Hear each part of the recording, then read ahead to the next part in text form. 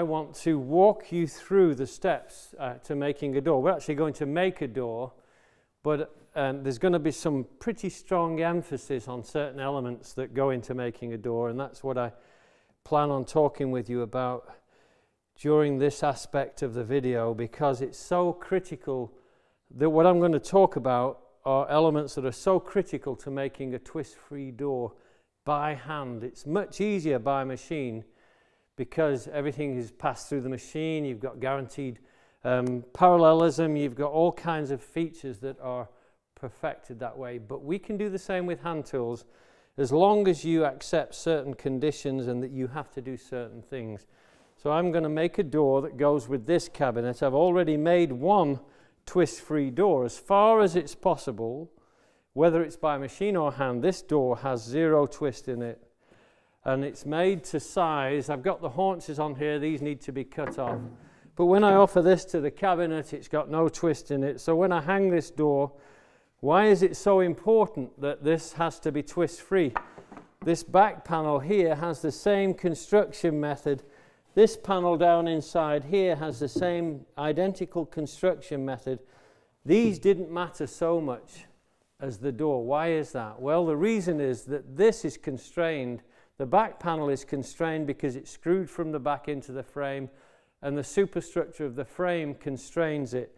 This is constrained by joinery. It's got joints that make sure it's completely twist-free. The whole cabinet is twist-free. But with the door, once this is hung on here, it just has two fixed points. There is nothing to stop the cabinet door from twisting. So we need to start out with twist-free materials. So the emphasis, first of all, is that you have materials that are dried down to somewhere, if possible, between 7 and 12%. That will give you a material that will be very stable. So it's no longer absorbing moisture, it's no longer releasing moisture, or at least it's been minimized. And the wood has been seasoned and it's ready for, for use. Can you see now I've got my face mark on here, face edge on here. That means that I have straightened the wood, I've taken out any twist. I've checked it for twist by using winding sticks like this to make sure that the piece of wood is completely twist free. I milled this yesterday, hand planed it yesterday. I got everything ready yesterday and then I left it overnight and I checked it again this morning to make sure no twist occurred because of atmospheric changes or, atmos or changes in the wood. So I've checked the edges for square. These have to be dead square. If when you make a mortise hole and you put shoulders on your tenons, the shoulders or the mortise um, edge is not dead square, then you can actually clamp twist into the door. So these have to be dead square. This has to be dead straight. There should be nothing in this. When you put the two faces together like this, when you put a clamp on this one end here, the other end should be, can you see how we're closed up on there and there's no gap in there, there's no gap in here, and this is perfect for what I want for my cabinet. What we're going to do now is set those aside. Those are ready for the tenons, so I've already checked those. I'm going to do the same on this one, and I already have checked this. I've checked this one has no twist in it. I checked it with the winding sticks. When I put the winding sticks on this piece, however, and I've already made my face mark on here, I've got my edge squared and everything, I noticed that when I went back in on this one and checked this one again, let me go this way, like this, that I have checked this and I can see that there is a twist in here. So I go down here I can see that this point is high or this point is high. It doesn't matter which. They're both showing a twist. Now remember when we talk about twist, it looks a lot, but it's not. This, watch this now. I check this. One, two, three, four, five, almost six times. So the twist is exaggerated almost six times. That's, so that's a lot. So I don't have to worry too much. But what I want to show is when I put these two faces together, and this is a good way of checking for twist. I'm going to do the clamp on the end again here. Put the clamp on, and then I'm going to look at the other end.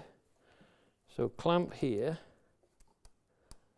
So, so that should, it's not actually. There.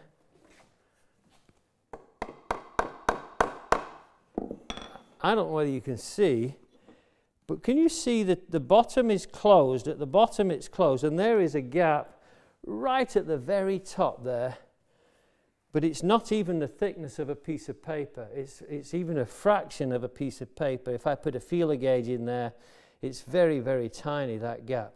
But that gap is enough to be exaggerated, the width of the door. So however many times this, and then you have the width of the door, which is 15 inches. So however many times this divides into this will be the amount of twist you're building into the door. So you have to get rid of all the twist before you start laying out and chopping your mortises. So this may seem like an over exaggeration, but it's not.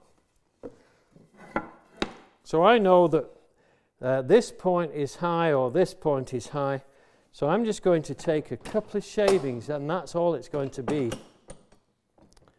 So I set my, I might go with a longer plane, although a short one will work just fine. And I'm going to zero out my plane iron here, so I'm taking no shaving.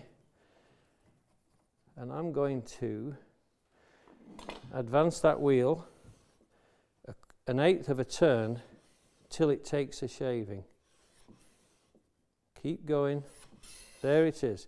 So that's my shaving. Now I know I'm somewhere around a thousand. So I've got a little slither of wood here. So here, this side should be taking a shaving, which it is. This side's taking none. So I'm going to advance this again and just, I'm just going to check this for parallel here until I get a shaving that is thick enough and parallel to the edge. So I'm good to go, I think. That's too much. That's exactly about the amount, the whole amount that I want to remove.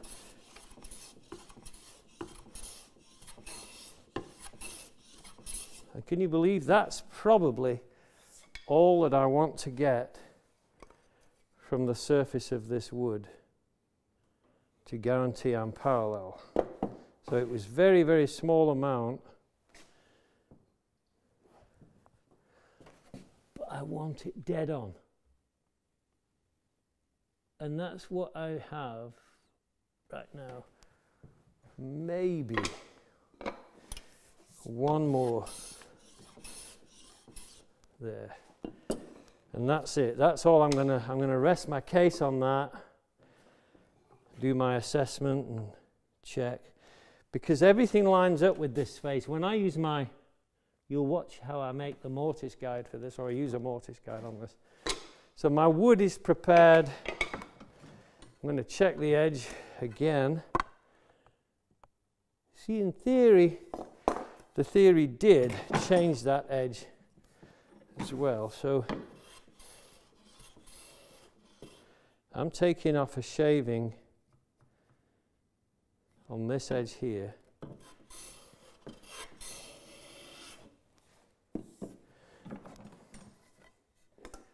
Just to bring me to square. So now I'm square.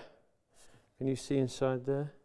So I am sure, because this is important, this is where the shoulders of the tenon come together on those two faces, on those two outer edges here and here. So they have to be square.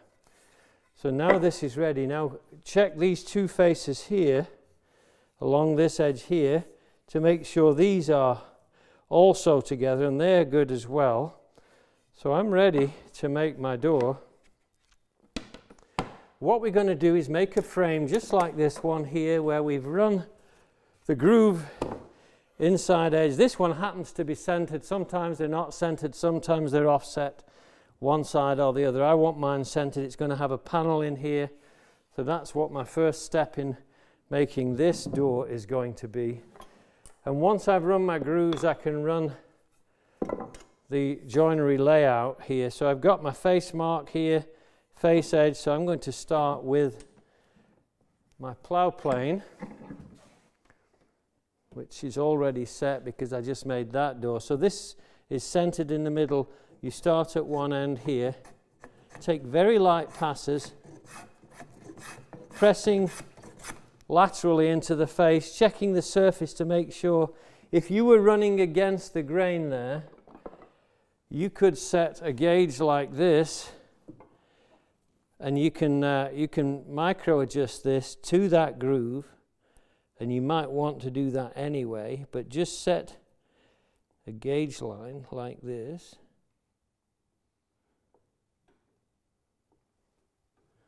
And a marking gauge or a cutting gauge will work just fine too. And you can run the gauge line along this surface here, and that will cut a wall and stop the fibers on the important edge from lifting. If you don't want to do that, or you don't have a gauge to do that, you can watch the fibers tear and they will only tear on the surface and then you can go in with a plane shaving afterwards and take it down a 32nd of an inch. It just means your door will be slightly undersized. So I'm running a gauge line here to stop those fibers. This will cut the surface fibers and hopefully prevent the fibers from tearing upwards. That's that. All right, what else have I got to do? Now I've got to get the size of the door. I have to know the size of the door, but I can run my grooves in here first and get those settled. So I'll do that and then we'll go back to the cabinet to see how about how do we size these things. So don't take too deep a cut. If you work backwards from the edge, see I'm going into the end grain here, but the surface fibers are not tearing. What's tearing is in the bottom of the groove. This is the nature of this particular species of wood. Uh, this is sapele and this does surface tear.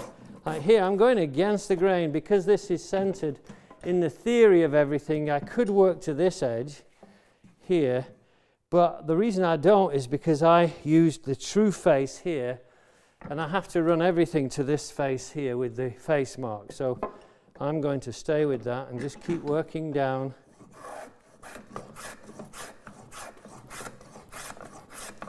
Work backwards like this, and eventually you won't even notice that you're going against the grain.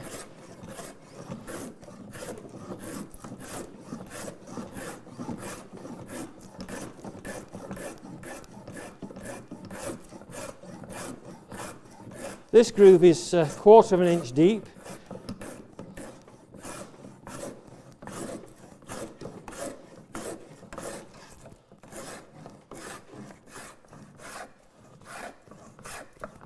If you've got a little friction in there, which I do, oil in a can, just three in one oil, just some light machine oil on the rag.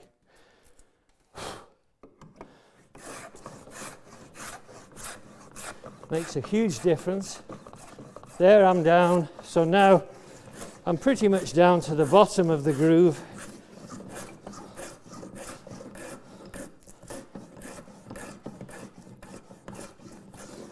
And that's that. So there is my groove in one. I do the same in this one, the same in my rails.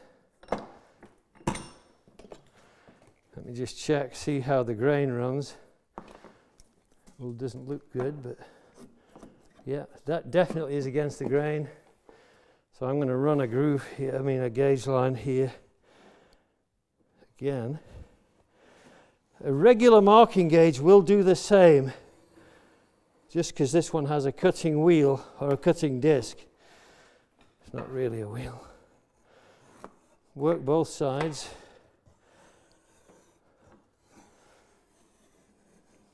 It's just an extra precaution, really.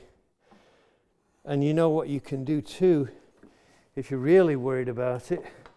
You can actually go in there with your marking knife, your layout knife, and pull that along there. So this is going about three or four times deeper than that. Oops.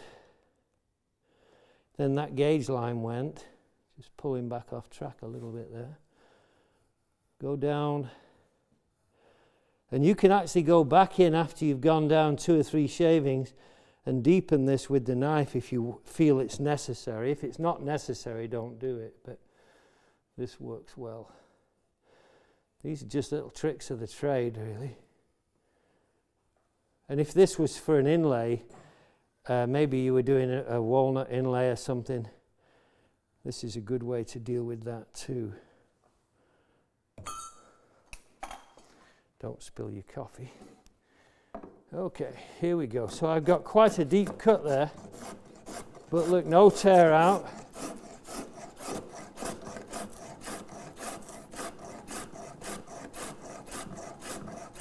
So I'm down to depth now, moving back.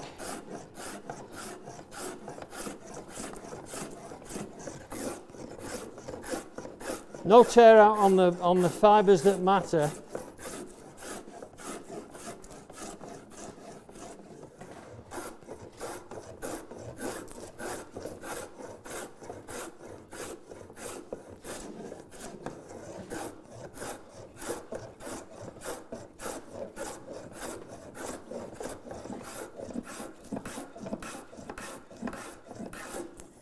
So that's really how we run grooves for raised panels, just flat panels, uh, even for glazing sometimes.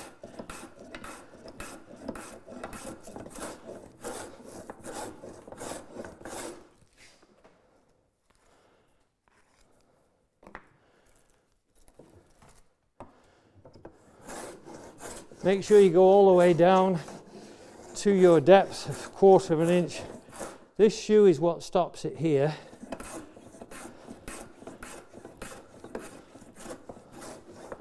And there I am down. So that's the second piece done. These are my rails. You can see what happens when it's crisp and with the grain in your favour, the edges are much neater.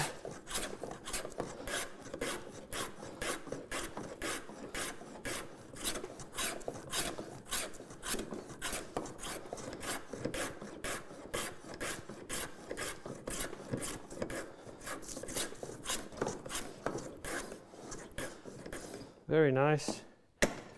Crisp lines again. See what happens with this uh, against the grain. Just before I do any real cutting, deal with it this way.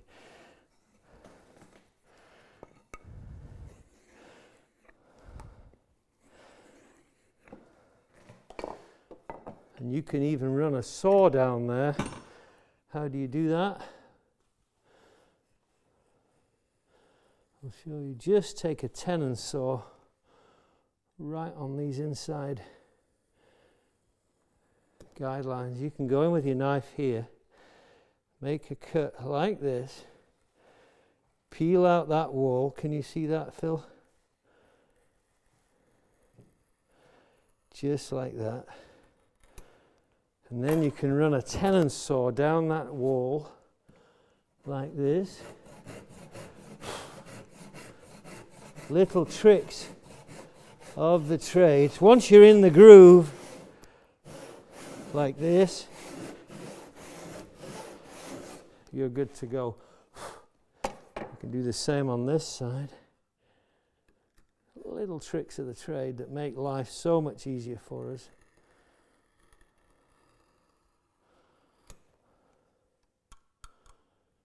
Where are you?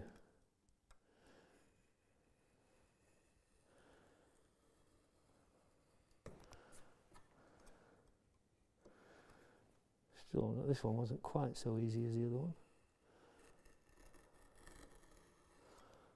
There we go.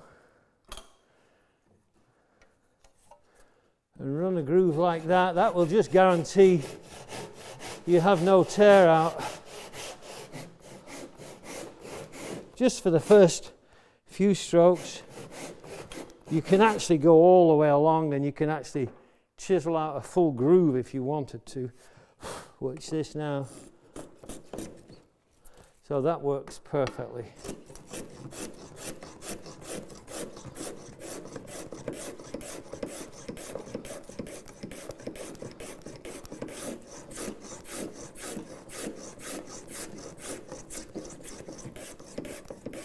There you have it.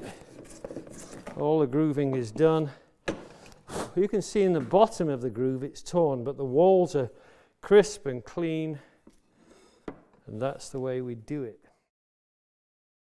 When it comes to sizing a door, if you're making a cabinet like I'm making this cabinet here, this cabinet is going to have two doors in it, but you use the same procedure whether you have two or one door. Um, I have a cabinet that's 15 or 30 and a quarter wide, so my doors are 15 and 1 eighth of an inch wide, and then the height is the distance. I have left on a half an inch here, 12 millimeters here, 12 millimeters here. I've left, this is called a, this is a different kind of a haunch or a horn, sometimes it's called.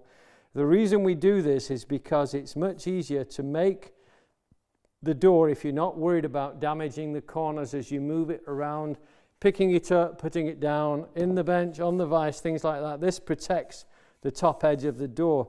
But it's also preferable to leave it extended like this. Once you've made the door, once you've glued it up, got your panels in and everything, you simply go along with a, a knife wall all the way around these faces, saw it off, stand it up in the vise, and then plane it flush with the long edge. You have this long reference face. Otherwise, if you cut these to length, then you have to make this perfectly match the extension of, or the, the extreme end of the stile, and that's harder to do when you're using hand methods. So these are all methods that have been developed through the years, and they really work. I'm going to make this door, these, this next door, the same size as this.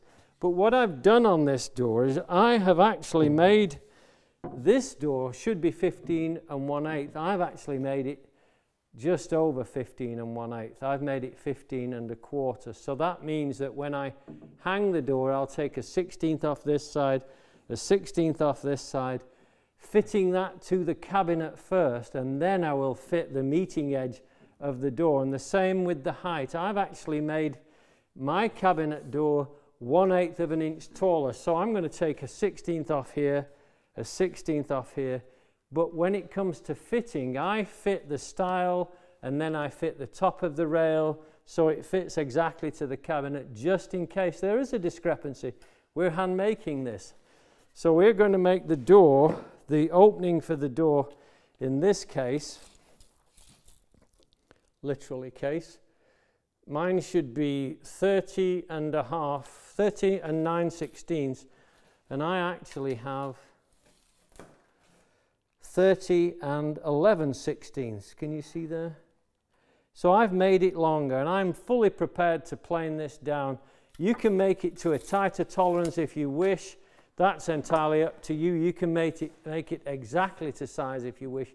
But you do have to factor in some details that this will need fitting. So I'm going to work to this existing door because I want the two doors to be exactly the same size just for simplicity, if for no other reason. So I'm going to start with the inside of the rail here, and I'm going to just make a mark across the two rails. So I flush this end up. I've got this tight on the inside corner, and I'm going across this inside face here. And I'm forgetting the extreme. I'm not going to worry about that at this point. And I do the same in here. Go across the two stiles where they, where they meet on those inside faces like that. Well, not quite like that. Let me see if I can squeeze here. Yeah. So just a small knife mark across the two. That's just a registration line. Get rid of this door. Now those marks are not so critical, but I am going to emphasize them. Did I move? I did. So I'm going to go across both pieces here. Can you see here, Phil, if I go here? Go across here. and don't do as I do. Who said that? You could clamp these together. I'm really avoiding movement, but it's not easy. I'm trying to make this expeditious because of the camera. That's that one.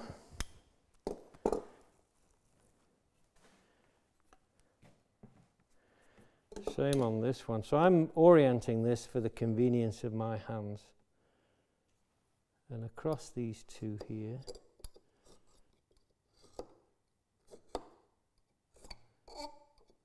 There. Now depending on which one I've chosen for the top, so I'm going to break these apart because I already had these marked with my triangle here. So that's my top rail there. So I can bring these together, line up my registration lines. And then I'm going to put my top rail on here. So this is the top. Across those two lines, I make a mark here. So that's the extreme of my top rail. That's the very top rail. And then I'm going to measure down three quarters of an inch from the top rail. Like that. So this is actually going to be the position of my mortise hole. There.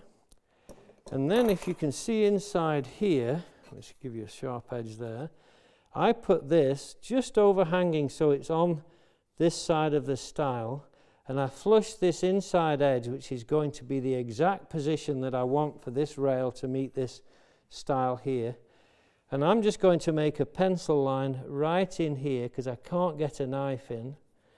And that gives me the position of this part, which is actually going to form the tenon. So the hole, the hole is quarter of an inch less than that shoulder line. Uh, I think I'm going to use the knife. And I have to use the knife on this top edge. It's fine to do that. So here, I'll show you what I have in a minute.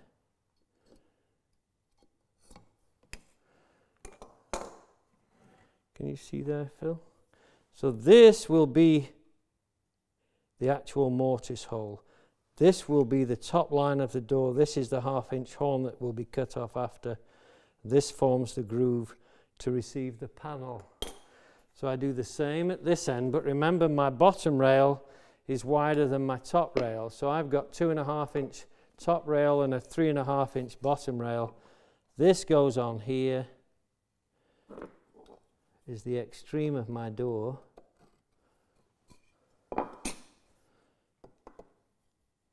And I'm going to do the same. I'm going to measure up three quarters of an inch.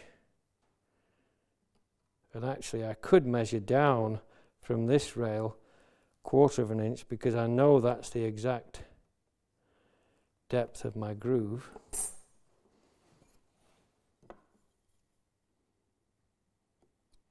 There is the extreme of my mortise hole. Two extremes. And now we chop the mortises. Now then, this is where, using this system that I'm going to show you, this is why the outside faces were so critically important. They had to be dead flat without any twist in them. I wouldn't be too worried if it was bowed this way, particularly. These are actually pretty close. Can you see there's a slight gap in the midsection there? That gap is probably a millimetre at the most. Would I worry about that? I really wouldn't because the other door may be bowed exactly the same way. Such a short distance, small bow wouldn't matter. But that could also be on the stile of the door where I'm going to use three hinges in this case. So I can actually pull that in when I put the door in if it bothered me, it probably would not bother me. It probably would not even show. And the truth is that both of these could be, if that's a millimeter, then, and both of these are bowed the same way, then that could mean that it's only half a millimeter difference. So don't sweat issues like that at this stage. So I'm going to chop a mortise in between those two lines. I already have a guide block. This one is the same distance. So I have a quarter inch um, uh, mortise hole 3 eighths in from each side. So I've made this guide here. You don't have to have the brass on. If you're only doing a 20 holes, you can just use wood. You don't need the brass on. I keep these as regular features because usually the holes are quarter of an inch, 3 eighths, half an inch from the edge. So I just keep some of these around. This is just parallel to this surface. This is 3 eighths. So this goes onto this face mark here and it aligns with the inside edge perfectly of the inside face of the, of the groove that I've cut. So I can use this now as my reference face when I chop the quarter inch hole into here. I line it up here, I pull it to the surface of that brass plate, which could be wood in your case, and that gives me a perfectly aligned mortise hole. And as long as I register on this face, it means that the mortise hole is also parallel to this outside face. It's very important. This system is one that I developed and I've used it through a long time, for many decades now. And I think a lot of other people are using it and have adopted it as a result of my first efforts there, which is what it was all about. It's trying to make woodworking real for everybody. The reason I'm working to this outside face is let me just give you a quick glimpse here. See, can you see this is flush on this outside face, perfectly flush. Can you see the discrepancy I've allowed here? I'm working to the true historic uh, methods that we would have used 100 years ago when we were making doors by hand. We worked to a true outside face, aligned all the tenons and everything, the mortise holes to the outside face, when we finish the door, we take this face and we plane this down to this one because it didn't really matter whether the doors were perfectly aligned on the inside. We, do, we do still flush it, like in this case. Uh, here is my outside face. I still have my face marks on all these surfaces. These surfaces are all perfectly aligned. After I'd finished the project, got the door together, just clamped, not glued, I went in and I planed all these surfaces. And this gives me as good a face as anybody could ever get with a machine or whatever. It works perfectly. The whole system worked, and we're just using that system because we're not mass manufacturing doors. We're just making one, two, three, or four doors, and the system works perfectly for that. So I'm going to chop my first hole. Can you see these lines? Let me pencil this in so you can see here. This is the inside mortise hole is going between here. This is the extreme of my piece of wood. So this would be the small top rail going here. So I'm going to go right on that line, that first line. I'm going to chop just gently, just to get a cut line and then I'm going about 3 sixteenths away and I start to lever. Can you see? So that first piece of, then I go back into my cut line and I go deeper. But I don't hit very hard because I don't want to move that knife wall. Then I move along another eighth of an inch and I just keep levering out that way. So now I'm down already quarter of an inch. I'm only going about an inch and three eighths in this case. Then I move along again, another eighth of an inch. So now I've moved along three eighths of an inch, and actually I have gone down three eighths of an inch. So already I have progressed my mortise hole way down in here. So the more I do this, the deeper I go. So here, can you see I'm right in there Keep the chisel perpendicular and the bevel. Go until you hear that dead sound. This was going ch ch ch ch Now I've got the dead sound. Jerk out your chisel, back up about halfway, and just lever out some of this waste here. Go a little bit deeper. And this waste is just going to pop out, turn the chisel round, bevel against the wall, down into the bottom and lever out the waste. And you don't need to damage this top rim of the mortise hole at all. So I'm going to go down yet again. And now I move across again, lever out some of the waste, then go deeper, move along. Now we can lever freely without having to uh, worry too much. So I'm getting close to depth. I'm already over an inch deep. Can you see how these come out very uniformly now? Back up, don't bend your chisel. I'm only using a, a quarter inch um, bevel edge chisel, which I think is great. I have almost no resistance. So now I'm on the extreme of the hole.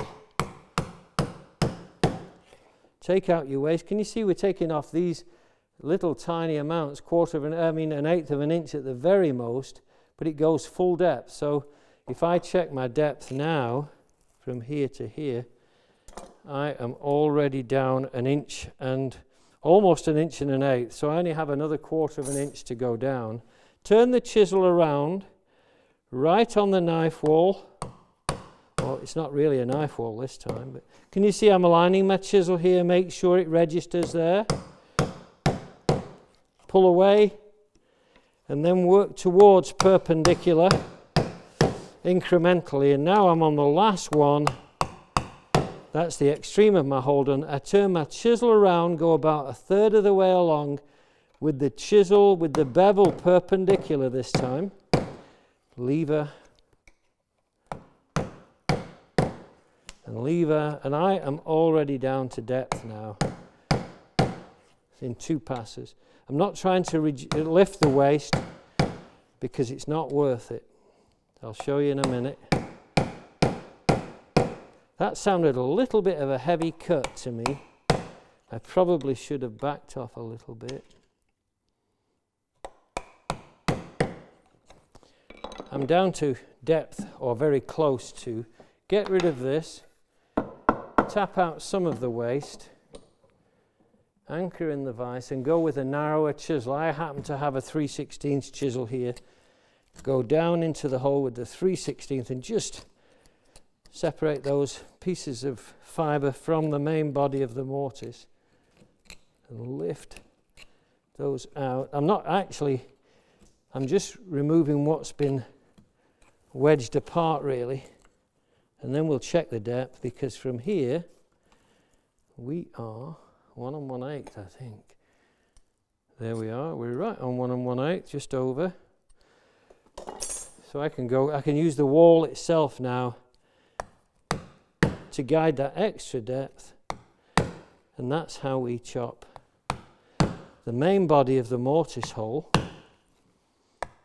and we have one more step after this now I know this wall is parallel to the main reference face which is this face so it's exactly where I wanted it to be those bottom fibres can be a little more difficult to get out down below. But now I'm to depth. Again, I go in with the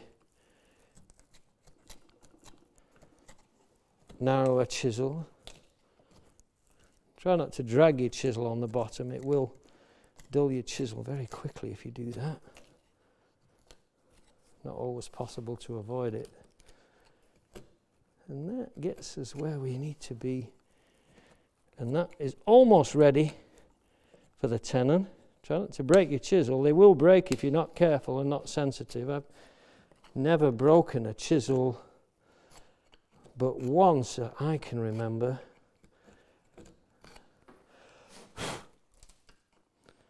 There's my final depth. I need one and three eighths. Can you see that? I'm dead on one and three eighths. I would leave it at that. I'd rather take a tenon down a sixteenth and fiddle around. That is going to work though. So I have one more step in this uh, perfecting of the, actually that's probably taking me down a 16th over, which would be great. Can you see inside there, Phil? Nice clean cut mortise hole. I'm very happy that it is parallel to the outside face. Take the guide and place it on the shoulder line, clamp it in and then take a wider chisel. One inch works perfectly, three quarters, And see this, I'm just going to pare down that inside face like that. And that is all I'm going to do for now. It really lined up perfectly. And when you see, I think, the wall on this outside face, uh, I hardly took anything out there. Can you see right down in there? It's as smooth as the outside face after I've planed it, pretty much. That's how we chop a mortise. So now we have, all the others are done the same way, and then we'll fit the tenons, and I'll show you how we do that.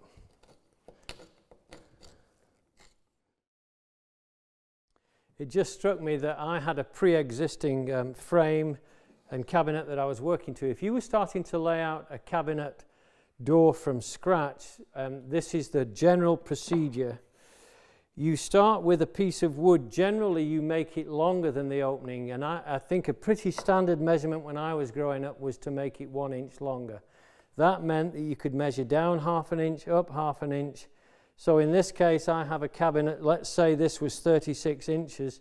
I would make these, these stiles 37 inches, and I would measure down half an inch from the top so this is actually the inside of the frame. And then I would take my top rail and I would mark the position of the top rail. I measure up half an inch from the bottom, like that. And then I add my bottom rail to there. So this gets the exact height of the cabinet. Square those lines across like that. That gives the exact position of the rail, the top and bottom rail there and there. Then I line up, I've got a groove in here. You'll probably already have your groove in there too. Line this up with the bottom of that pencil line. Can you see right into here? I've got that lined up with the bottom there. And then I mark this position here this will show the extreme of the mortise hole. And they do the same at the bottom as well. So you come back up from that extreme width line, go across these two surfaces. In this case, I'm making a three quarter inch haunch. So I come down from the top line here, like that. And this then, this here, is the exact size of the mortise hole. Do the same on the bottom one. Place this on the line, mark in the bottom, or reverse it and place the groove on the line. Whatever way you do, it's going to give you a quarter inch line. Square across the two, like that. Measure up three quarters of an inch. And that gives you the haunch. That means that your tenon will be completely enclosed within this area. There is your mortise hole, there is your mortise hole run your grooves or whatever, or run your gauge lines. You may want to use a mortise gauge to line up your mortise holes and cut your holes first. If you're not using a groove, if you're not using rebates, you would do that. You could use planted rebates, which means you nail on strips to form the rebates. There are different procedures, but that's the basic layout. For the rails, we do the rails the same either way. What we want for the rails, we want the overall width so let me take these. These are pieces that I've already been working on. The overall width of my door in this case is going to be 15 and 3 sixteenths. So I'm going to place these 15 and 3 sixteenths apart like that. So I've got the exact overall width that I want my door to finish at. You can take this off your drawing, you can do this in different ways. There is my shoulder line. My shoulder line between the two is 10 and 1 16th. So I center that in here. I've already cut these to length. I've got 1 and 3 eighths, 1 and 3 eighths. But just to show you, I'm going to go half of my, I've got 11 inches, so that's six and a half inch, uh, five and a half, no, I've got 13, six and a half inches here and I wanted 10 and 3 sixteenths in between so I'm going to go 5 and 3 30 seconds, that gives me the shoulder line that I want there. So I should have 1 and 3 eighths, which is what I've got. So I've got my shoulder line there. I'm going to go with a pencil just initially to give me good visual. Now here I'm going to go in between 10 and 3 sixteenths. Square that line across. Like that. Put these two together. So whether you've got grooves in or not, this would be the same procedure. And those are my shoulder lines. And now I'm going with my knife. I go across right onto that pencil line, like that. Oops, missed one there. And the same on this one here. And that gives me the, in my case, that's giving me my 1 and 3 eighths long tenon. And from here, I register on that inside face, the one that's proven, with my knife wall. That's giving me exactly the shoulder line I need. And these must be perfect. They have to be exact. So all the time I'm registering my square against one face, one registration face or the other. You can go right across these, this as well, because this actually will more than likely be removed in the planing and fitting of the door. Same on the bottom rail, exactly the same. So this is my tenon piece.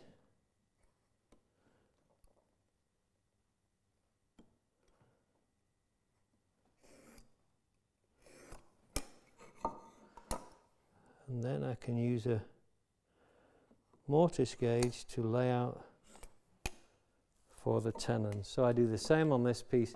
And that's how you establish your exact cut lines so they're identical all the way through. These are exactly the same. You have exactly equidistance on both pieces on the top rail, bottom rail and the stiles and that helps you make a perfectly square door frame. Door, should I say.